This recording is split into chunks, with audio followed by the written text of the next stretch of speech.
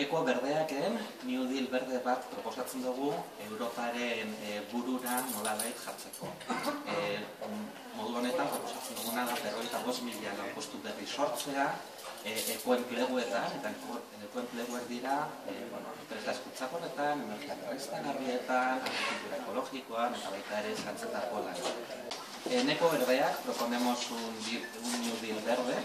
para poner a Euskadi a la cabeza de Europa y dentro de esta propuesta lo que proponemos es crear 45.000 puestos de trabajo como ecoempleos, empleos verdes, que son puestos de trabajo en empresas no contaminantes, energías renovables, agricultura ecológica y también el sector de